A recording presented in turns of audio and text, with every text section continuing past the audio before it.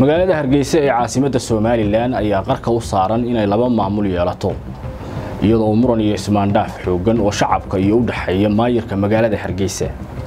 Uu cirka isku shareerayay maalmihii ugu dambeysay. Haddaba ismaandhaafkan shacabkii doortay iyo cabdikariin axmed mooge u dhexeeya ee maalinliba maalinta ay ka dambayso ka sii daraya halkii ayuu salka ku hayaa. Maxay tahay si khaladaadka waaweyn ee uu ku kacay maayirka magaalada hargeysa warbixinteennan ayaynu ku falaqaynaynaa qodobadaasi xaalad siyaasadeed iyo xiisad ismaandhaaf oo cirka isku sii shareeraysa ayaa u dhexaysay bilihii ugu dambeysay maayirka magaalada hargeysa iyo shacabkii tirada badnaa ee soo doortay. Muster mooge oo ku ololeeyey dadkuna ay ku doorteen inuu qabyaaladda ka soo horjeedo ayaa waxa uu u dhurtay markii dambe mas'uul dhiiri gelinaya qabyaaladda. Isagoo oo waraysiyo laga qabtay sheegay in dadkiisu doorteen hase yeeshee shacabka reer hargeysa aanay si siman ugu codayn oo aanay dooranin. Dad deegaamo kale ka soo jeeda. Halka ay xaqiiqadu sidaasi ka duwan tahay oo ay shacabka reer hargeysa amase shacabka reer somalilan wada doorteen.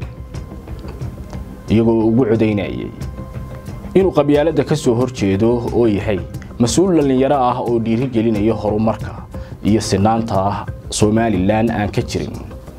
Si kastay ahaataba waa qodob ka mida kuwa ugu waaweyn muster mooge inuu noqday qabyaali hase yeeshee shacabku aanay sidaasi moodayn wejigiisa dhabta ahi inuu soo baxo ayaana murankan iyo ismaandhaafkan cirka ku sii shareertay.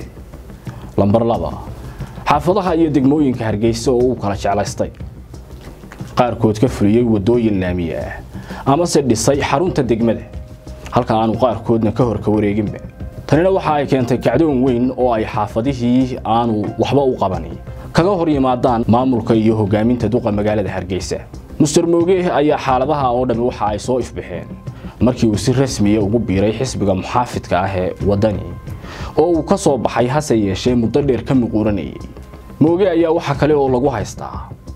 Sidii uu ahaan jiray iyo sida uu haatan u dhaqmaayo oo aada u kala fog labadii kun iyo labaatankii ayaa waxa uu sheegay shacabka reer hargeysa inaanay cashuurta bixin isagoo mucaarad ku ahaa.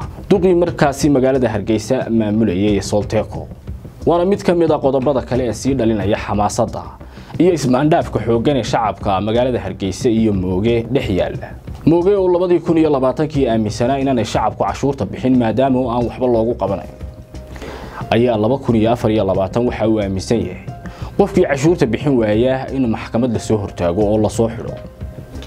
Tani ayaa noqonaysa kaafiyo kala dheeri waxaana ay shacabka reer somalilan moogihii ay doorteen iyo kan maanta majaraha u haya u arkaan laba nin oo aada u kala fog.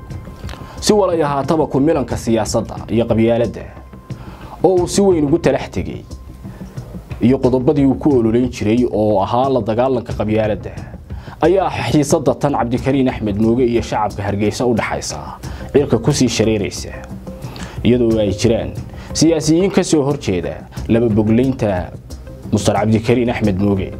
Kuwaasi oo iyaguna xaaladda dabka ku sii shidaya. Xiisaddan ayaa ku dambayn karaysa inuu xilka waayo muster mooge. Inkasta oo haatan xisbiga muxaafidka ah ee waddani uu ka tirsan yahay isku hadlayna ka haysto xukuumadda talada la wareegi doonta. Hase yeeshee kacdoonnadu hadday iska soo daba dhacaan hargeysa ayaa laba maayir yeelan karaysa. Maadaama oo aanu u xaqsooraynin maayirka ay haatan wada dooratay ee cabdikariin axmed mooge waxa aan ugu bahayn oo hore hargeysa uga dhacday inay laba maayir yeelato iyadoo labadii kun iyo labaatankii degmooyinka uu ka soo jeedo muster mooge ay maayir gaara samaysteen markii ay ku qanci waayeen maamulkii iyo hogaamintii. Muster solteeko oo markaasi ahaa duqa magaalada hargeysa